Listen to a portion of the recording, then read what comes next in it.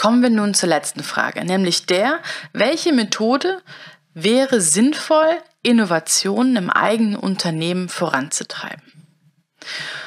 Gerne stelle euch in diesem Zusammenhang das Stage-Gate-Modell vor.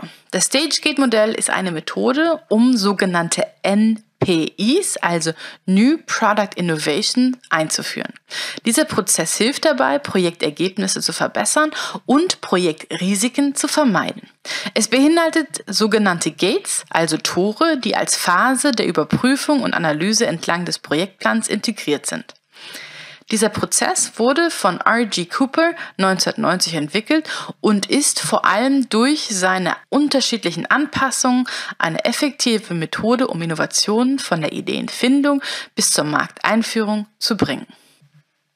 Und so sieht der ganze Prozess aus. Bevor man anfängt, überlegt man sich, welche Entscheidungsträger innerhalb des Unternehmens dazu beitragen müssen können, um das Projekt, um die neuen Ideen abzusegnen. Das kann sein Geschäftsführung, Marketing, äh, Rechtsabteilung, Logistik, Produktion etc. All die Entscheidungsträger werden vorhinein gefragt, welche Kriterien muss eine Innovation erfüllen, um diese dann marktfähig auf den Markt zu bringen. Hat man das erstmal, fängt man an mit den Ideen. Also fangen wir ungefähr mit der, also der Discovery-Phase an. Man fängt an, Ideen zu sammeln. Die Fragezeichen, das sind Kriterien, die der Projektleiter, Projektleiterin selber definieren kann. Hat man genug Ideen gesammelt, kommt man zum sogenannten ersten Idea Screen. Das heißt, die Ideen werden ähm, anhand der Kriterien, die man vorher festgelegt hat, in diesem Fall die äh, symbolisiert mit den drei Fragezeichen, ähm, überprüft und nur die Ideen, die die erste Überprüfung bestehen, kommen in die nächste Phase. Die nächste Phase ist die sogenannte Idea Scoping Phase. Hier wird der Markt analysiert, die ersten technischen Rahmenbedingungen festgelegt und auch schon mal die ersten in Anführungszeichen weichen Finanzwerte werden zusammengesucht. Und man kommt zum Second Screen. Hier müssen alle Kriterien des ersten Gates erfüllt sein und man muss schon mal die ersten markt- und technischen Reaktionen äh, überprüfen und schauen, ob da alles in Ordnung ist. Sind Ide genug Ideen äh, vorhanden, haben genug Ideen dieses Gate überstanden, kommen wir in die sogenannte Business Case Phase. Hier wird der Markt äh, sehr detailliert analysiert. Man macht schon mal eine erste betriebliche bzw. juristische Überprüfung. Es wird eine sehr detaillierte technische Bewertung vorgenommen. Man erstellt einen Business Case. Man definiert, wie das Produkt aussehen könnte. Man schreibt schon mal so eine Art Produktrechtfertigung und zum Schluss wird ein detaillierter Projektplan erstellt. Dann gibt es, geht es zum sogenannten Pre-Development Gate. Hier werden alle Finanzhürden geprüft. Qualitätskontrolle der bisherigen Aktivitäten.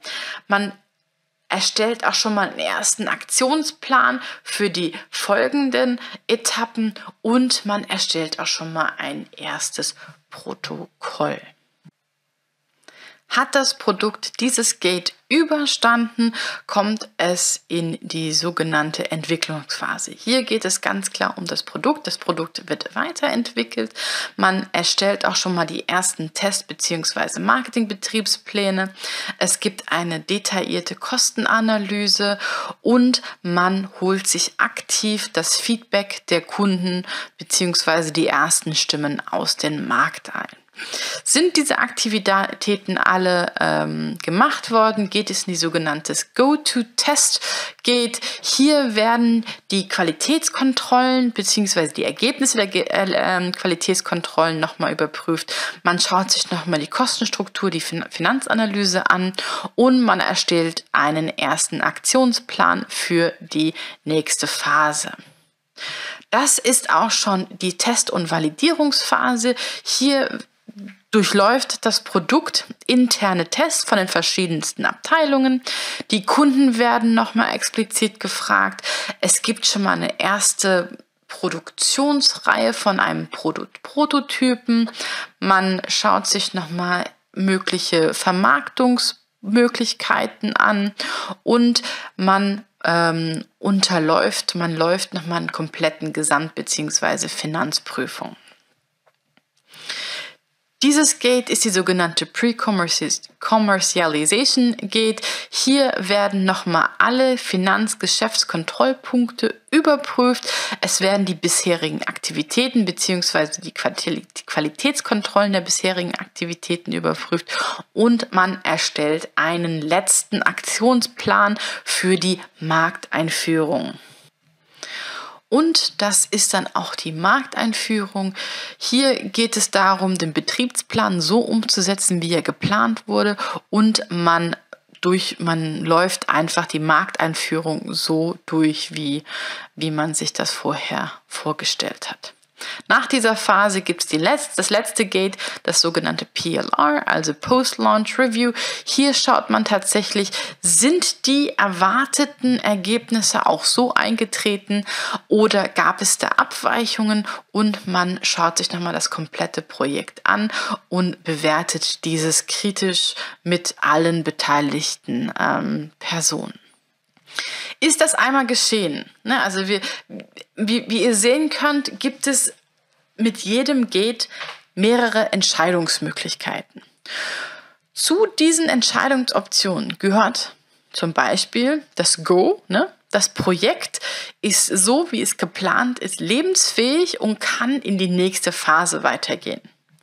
Kill heißt, es gibt keine Möglichkeit, dieses Projekt so umzusetzen ähm, es gibt keine Alternativen, es, kann, es gibt keine Änderungen, die wir durchführen. Deswegen sagen wir, dieses Projekt muss eingestampft werden. Es gibt einen sogenannten Hold Entscheidung, ne? also halten. Das heißt, ähm, also beispielsweise das Projekt wird aus irgendeinem Grund vorläufig gestoppt und eventuell später weitergeführt. Das kann natürlich sein, wenn äh, irgendwelche Entscheidungen ausstehen, die man in dem Moment nicht ähm, beeinflussen kann, beziehungsweise wo man nicht weiß, welche Auswirkungen ähm, daraus resultieren und man möchte einfach sicher gehen und sagt, okay, man stoppt, man stoppt das Projekt jetzt und guckt sich das in den nächsten Wochen, Monaten vielleicht nochmal an, um zu gucken, ob man es weiterführt. Es gibt die Möglichkeit, etwas zu recyceln. Das heißt, ähm, etwas ähm, an dem Projekt äh, war nicht lebensfähig, aber man kann Teile davon oder bestimmte Ideen kann man benutzen und dann werden die in anderen Projekten beispielsweise recycelt. Und dann gibt es die letzte Entscheidungsmöglichkeit, die sogenannte Conditional Go. Das heißt, ja, das Projekt wird unter bestimmten Voraussetzungen fortgeführt. Also beispielsweise, wenn man so ein recyceltes Projekt ähm, nimmt, dann müssen ABC-Kriterien äh, erfüllt sein. Erst wenn die erfüllt sind, kann dieses Projekt in die nächste Phase fortgeführt werden. Das sind so die Entscheidungsoptionen, ähm, die man beim StageGate hat und die auch das Projektmanagement, die Projektplanung vereinfachen soll. Es das, das StageGate-Projekt, ähm, der Prozess an sich, ähm, hat natürlich Vor- und Nachteile. Ähm, ganz klare Vorteile sind, wenn es sich um ein Unternehmen handelt oder ein neues Produkt für ein Unternehmen handelt, wo es sehr viele unterschiedliche Entscheidungsträger gibt, ne, interne Entscheidungsträger, die vielleicht auch konkurrierende Ziele und auch Ansichten haben, dann hilft diese, dieser Prozess, ist sehr transparent zu zeigen, okay, an diesen Phasen müssen wir eine Entscheidung treffen. Und die Kriterien für diese Entscheidung dürft ihr jetzt festlegen.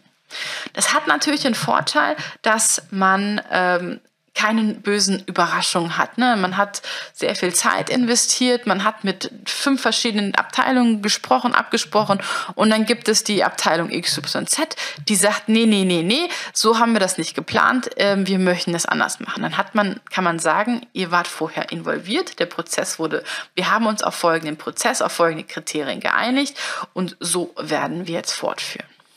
Dieses, dieser Prozess funktioniert auch sehr gut, wenn es sich um ein einziges Produkt geht. Ne? Also es gibt eine Produkteinführung mit unterschiedlichen Ideen. Und es funktioniert sehr gut, wenn über funktionsübergreifende Abstimmung erforderlich ist. Dieses Projekt, diese Methode funktioniert nicht so gut, wenn es also kein neues Produkt gibt, ne, also oder kein verbessertes, Produkt geben soll.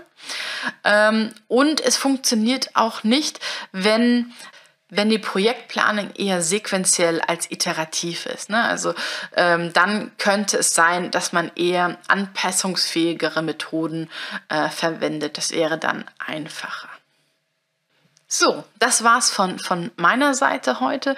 Wir haben uns heute nochmal den Unterschied zwischen Entrepreneuren und Intrapreneuren angeschaut.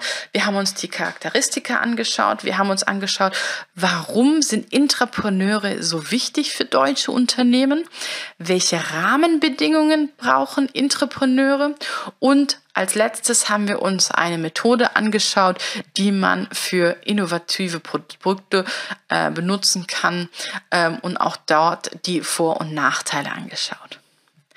Ich persönlich würde mich sehr freuen, wenn äh, ich euch ähm, bei dem nächsten Jahrgang begrüßen könnte. Falls ihr Fragen habt, hier sind meine Kontaktdaten. Ihr könnt mich gerne anschreiben.